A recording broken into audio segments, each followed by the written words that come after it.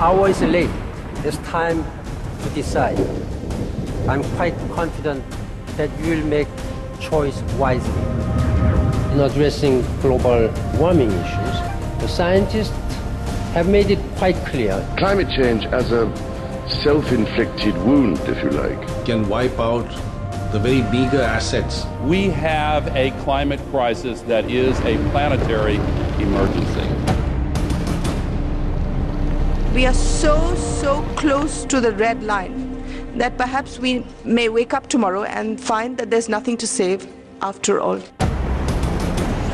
We have reached a point where we have a, a real emergency. The message should be clear. Climate change must take its place along those threats like conflict, poverty. Climate change is responsible for conflicts that can only deepen in the future if we don't act as soon as possible. It's the only thing that I believe has the power to fundamentally end the march of civilization as we know it. You will have a catastrophe added uh, to another catastrophe. Climate change means catastrophically violent weather. Like wildfires and devastation. Rising sea levels. Rising food prices. To the spread of disease. If the future of the world depended on me, what would I do?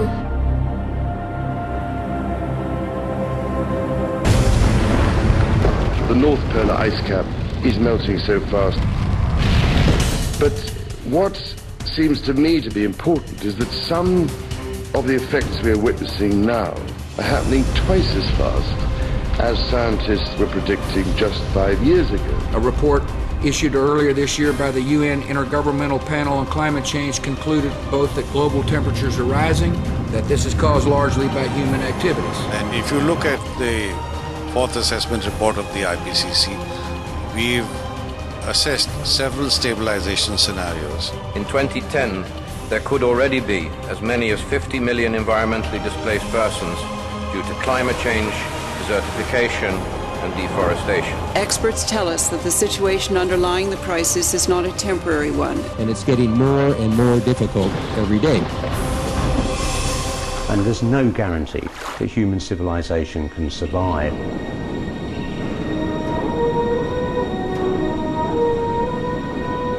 The doomsday clock of climate change is ticking ever faster towards midnight. We are simply not reacting quickly enough.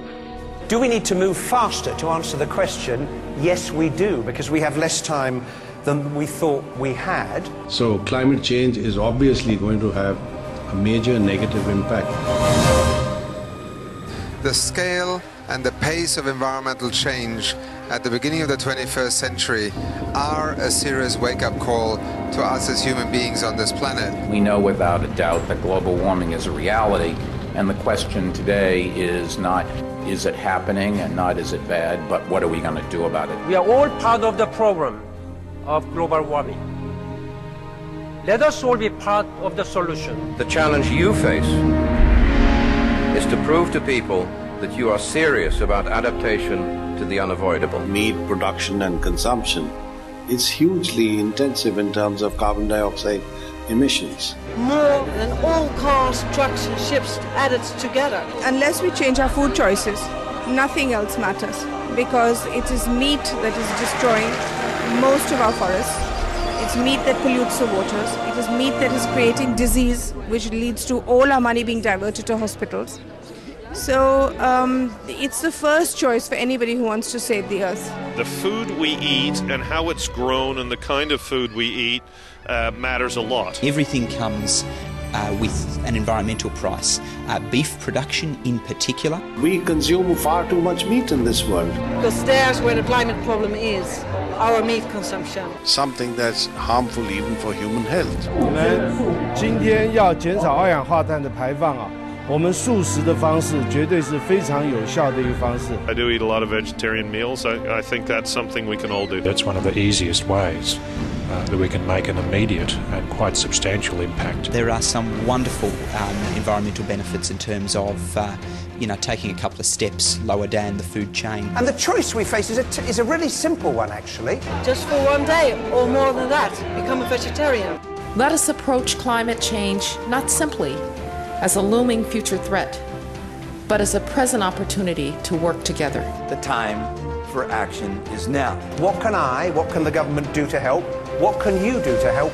How can we do this together? And it's about what we do from this point on and this point forward. Individuals can take action. We have to try our part. And as individuals, through the choices we make, the purchases we make. If we once understand this and take the necessary actions, then we actually have a much better situation. And if you eat less meat, you will be healthier and so would the planet. Then there's some kind of realization of individual responsibility to take care of this planet.